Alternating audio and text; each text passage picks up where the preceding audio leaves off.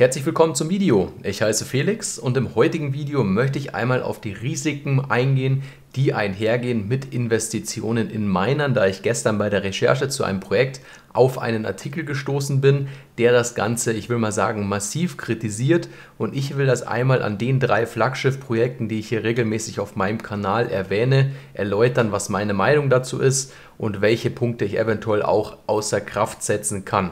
Erstmal dazu, welche meiner Projekte ich hier kontinuierlich auf meinem Kanal präsentiere. Und zwar ist es unter anderem im gestrigen Video, dem BNB Miner.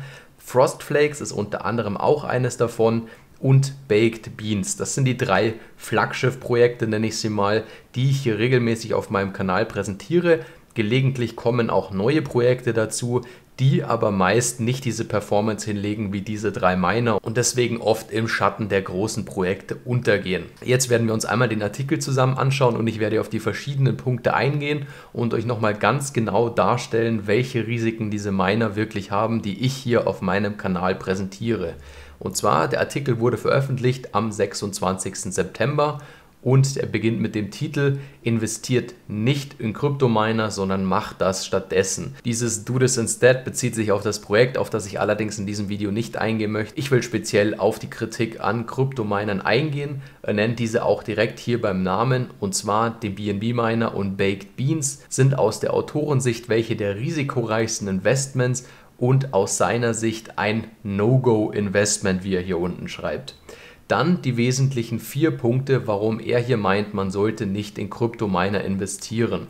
Und zwar der erste Punkt, Risk of Rug Pulls. Dieser Punkt ist natürlich darin begründet, dass viele Projekte ihre Investoren scammen, weil entweder die Möglichkeit besteht, die Funds aus dem Contract zu ziehen, nachdem das Projekt circa eine Woche gelaufen ist und die größten Investorengelder eingezahlt wurden oder sonstige Hintertüren im Smart Contract eingebaut sind, die es eben dem Projektowner erlauben, die ganzen Funds hier rauszuziehen und die Investoren mit nichts zurückzulassen. Es gab natürlich auf meinem Kanal auch schon Projekte, die gerugpult haben. Das ist natürlich ganz transparent hier, das ist so. Jedoch die drei Projekte, die ich hier regelmäßig erwähne, bei diesen kann das nicht passieren. Da ist das Risiko nicht mehr da, weil alle drei Projekte, sowohl der BNB Miner als auch Baked Beans als auch Frostflakes, ihren Contract renounced haben. Das bedeutet, der Owner selbst hat nicht mal mehr Zugriff auf die Funds, sodass hier das Ganze, was sich in der Contract Balance befindet, bei allen drei Projekten, die Projektowner bzw. Entwickler haben keinen Zugriff auf dieses Geld, da sie sich quasi selbst seit Beginn des Projekts die Berechtigung entzogen haben, hier das Geld rausziehen zu können bzw. Einfluss darauf zu haben, wo die Gelder der Investoren hingehen bzw. die selbstständig zu verschicken. Dieser Punkt ist somit außer Kraft gesetzt bei diesen drei Projekten. Es ist natürlich trotzdem Fakt, dass in den letzten Wochen und Monaten die Prozentrate von Rugpulls deutlich zugenommen hat und dagegen definitiv was getan werden muss. In diesem Zuge möchte ich gleich mal auf ein Projekt hinweisen, das ich hier vor zwei Tagen auf meinem Kanal erwähnt habe und zwar Truth Seekers. Schaut euch gerne mal das Video dazu an. Diese haben sich nämlich zur Aufgabe gesetzt, genau das zu bekämpfen. Dann zum zweiten Punkt, der quasi mit dem ersten Punkt einhergeht, und zwar Amount of Scams. Und zwar sagt er hier, dass die Rate exponentiell gestiegen ist. Wie gesagt, gerade angesprochen, das stimmt, aber die drei Projekte, die ich hier regelmäßig auf meinem Kanal erwähne, sind auch hier außen vor, da sie wie gesagt keine Möglichkeit haben, ihre Investoren zu scammen. Dann der dritte Punkt, Reduced Returns. Diese Miner versprechen ja in der Regel beispielsweise Baked Beans 8% oder der BNB Miner 3% und er bzw. der Autor kritisiert hier in diesem Fall, dass natürlich diese hohen Raten versprochen werden, obwohl diese teilweise nicht eingehalten werden. Das stimmt auch insoweit, dass diese Raten nicht eingehalten werden, sofern der Smart Contract, also diese Summe hier oder beispielsweise bei Baked Beans diese Summe hier oben sinken und dann werden automatisch die Rewards der Investoren zurückgeschraubt, sodass man nur noch geringere Prozentraten hier pro Tag erhält. Und diese Funktion dient einfach dazu, dass der Contract nicht so schnell leer gehen kann und dennoch die meisten Investoren in diesen Projekten ausgezahlt werden können. Das funktioniert natürlich nur insoweit, dass die Investoren zumindest einen Teil ihres Investitionsbetrages hier rausbekommen, weil natürlich nicht jeder komplett ausgezahlt werden kann mit dieser Höhe an Rendite. Das sollte auch jedem bewusst sein. Im dritten Projekt bei Frostflakes gilt dieser Punkt nicht. Also Punkt 3 Reduced Returns gibt es hier nicht, da es eine konstante tägliche Renditrate von 2% hier ist, die man erhält, egal ob dieser Contract, also diese Summe hier oben steigt, fällt oder konstant bleibt. Also diesen Miner betrifft das nicht, die anderen beiden ja, deswegen seid euch dessen bewusst, sobald die Contract Balance rückläufig ist und die Investoren auszahlen, werden sich beim BNB Miner und auch beim Baked Beans Miner die Rewards, die hier unten versprochen werden von Daily Return, zurückschrauben. Dagegen aber, wenn wir uns nochmal die Reward-Rate hier anschauen, die mit 3% niedriger liegt als Baked Beans, sofern der Contract anfängt exponentiell zu wachsen, erhält man auch wesentlich mehr wie diese 3%. Heißt, ich habe das beispielsweise in meinem gestrigen Video auch schon erwähnt, wenn der Contract hier anfängt exponentiell zu steigen und hier sehr, sehr viele Investoren auf einmal reinkommen, was hier in diesem Artikel nicht erwähnt ist, dann kann man auch mal gut und gerne 10 bis 15% pro Tag machen, was dann quasi wieder den Rückgang der Rendite Rendite kompensiert,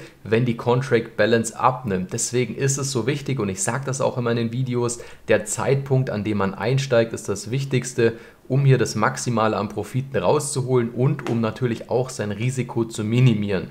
Und damit kommen wir auch gleich zum vierten Punkt und zum letzten Punkt, der hier angesprochen wird, das Ponzi-Scheme. Und zwar Ponzi-Scheme für die Leute, die es nicht wissen, auch Schneeballsystem genannt, basiert darauf, dass Projekte natürlich abhängig sind von Investorengeldern. Und Leute bzw. Investoren, die früh in ein Projekt einsteigen, werden von den Leuten, die später kommen, ausbezahlt. Da natürlich eine 3 bzw. 8%ige Rendite, die man hier in diesen Projekten erhält, nicht nachhaltig sein kann. Im traditionellen Finanzmarkt ist eine 8%ige Rendite aufs Jahr gesehen schon durchschnittlich sehr, sehr gut anzusehen. Deswegen, ihr müsst es natürlich immer im Kontrast betrachten. Das Geld, das hier an Rendite ausgezahlt wird, muss natürlich irgendwo herkommen und deswegen werden Leute, die früh in diese Projekte einsteigen, von Leuten, die spät in diese Projekte einsteigen, ausbezahlt. Das ist allerdings meistens nur am Anfang dieser Projekte der Fall, sofern noch keine weiteren Einkommensquellen geschafft wurden.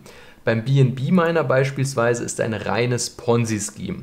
Deswegen ist es hier so wichtig, zum richtigen Zeitpunkt einzusteigen. Ich habe das auch in meinem gestrigen Video erwähnt.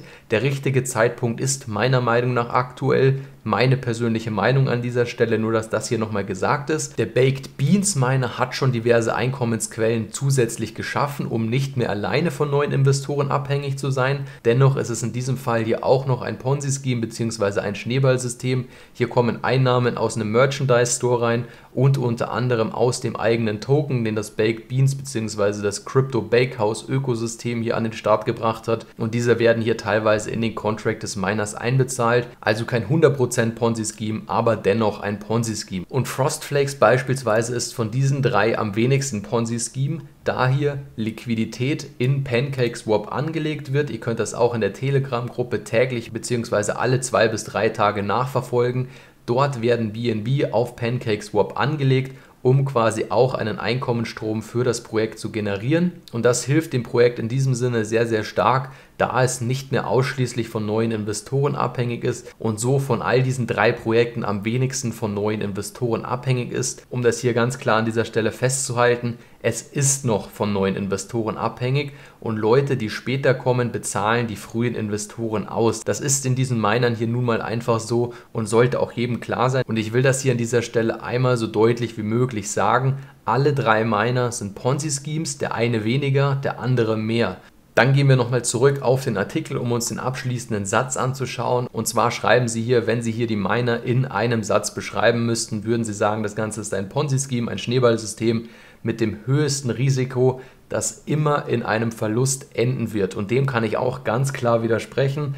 Ich habe definitiv mein Geld gemacht mit diesen Minern. Das Ziel ist es einfach, einer der ersten Investoren zu sein und so früh wie möglich in diese Projekte einzusteigen, um dann quasi von späteren Investoren ausgezahlt zu werden. Und ihr seid das von meinem Kanal gewohnt, dass ich Projekte zu 90 bzw. 95 Prozent immer im Presale bzw. vor dem Launch präsentiere, um jedem die Möglichkeit zu geben, hier vom Start an dabei zu sein. Um das an dieser Stelle hier auch nochmal zu sagen, meiner Meinung nach ist es zu spät, nach einer Woche in diese Miner einzusteigen. Entweder ihr seid von Anfang an, also von Tag 1 dabei oder ihr lasst eure Finger davon. Ganz klarer Call hier von meiner Seite. Also bitte informiert euch immer im Voraus, in was für Projekte ihr investiert, wo die Einkommensströme herkommen und wie ihr eventuell handeln könnt, wenn die Contract Balance anfängt zu steigen, zu sinken oder wenn sich Dinge im Projekt ändern und diese Fragen euch dann nicht überraschen, sondern ihr vorher schon eine vorgefertigte Strategie habt, die ihr in diesem Fall dann anwenden könnt. Also aus meiner Sicht ist dieser Artikel überspitzt dargestellt. Er weist natürlich sehr gut darauf hin, was die Risiken mit solchen Minern sind. Allerdings würde es diese Projekte nicht geben, beziehungsweise würden diese Projekte nicht so groß werden, wie sie ursprünglich waren, wenn wir uns beispielsweise hier Baked Beans oder den BNB Miner anschauen und nicht schon einige Leute viel, viel Geld damit gemacht hätten. Wir sind hier im dezentralen Finanzwesen und das Geld wandert nun mal von der einen in die anderen Hand, so wie es schon immer auf Finanzmärkten war und immer sein wird. Also nehmt dieses Video bitte als Hinweis bzw. auch als Augenöffner. Diese Projekte sind nicht grundsätzlich schlecht. Es gilt nur einige Regeln zu beachten, um eben profitabel zu sein und sein Risiko so gering wie möglich zu halten. Wenn ihr eine eigene Meinung dazu habt, würde ich mich sehr über euren Kommentar unten freuen. Erzählt mir auch gerne mal, ob ihr mit diesen Minern profitabel seid oder ob ihr mehr Verluste gemacht habt und was ihr generell für Erfahrungen mit diesen gemacht habt. Wenn euch das Video an dieser Stelle gefallen hat, lasst mir gerne einen Daumen da und dann sehen wir uns zum nächsten Video wieder. Vielen Dank fürs Zuschauen.